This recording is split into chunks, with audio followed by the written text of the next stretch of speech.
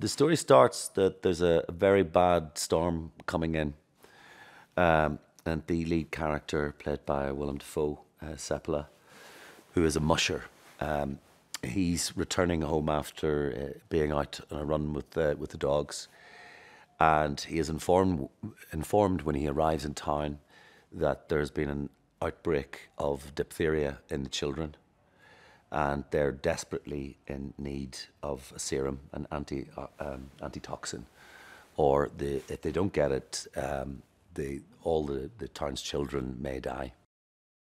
Willem's an amazing actor. I've always been um, had a huge amount of admiration for him, and it's just it's great to work with him.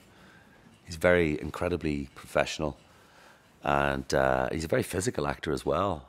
Um, we're all uh, in awe of him running around in the snow and flying around with the dogs. Yeah, he's, he's, a, he's, he's some guy.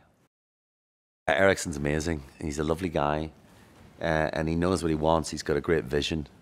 And he's also incredibly inventive and very open to ideas, uh, which is which is perfect for this kind of shoot because you know a lot of things can things don't always go according to plan, but he's completely on top of it, and he's also got a great sense of humour, which really helps.